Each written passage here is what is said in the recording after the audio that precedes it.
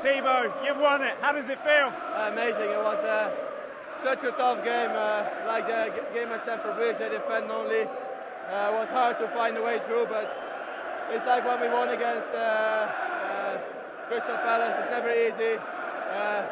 so winning in the end 1-0, goal from Michy guy who had a tough season, didn't play much, and he scores a final goal.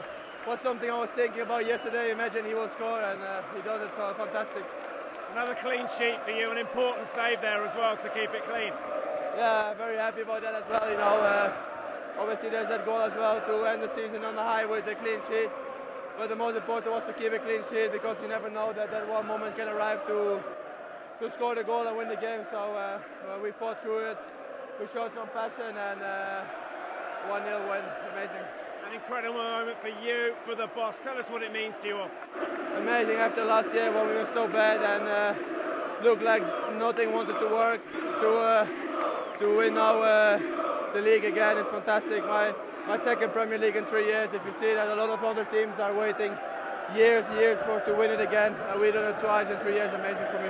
You can hear the fans singing your name. It means so much to them as well, doesn't it? Yeah, it's amazing. It's amazing, and.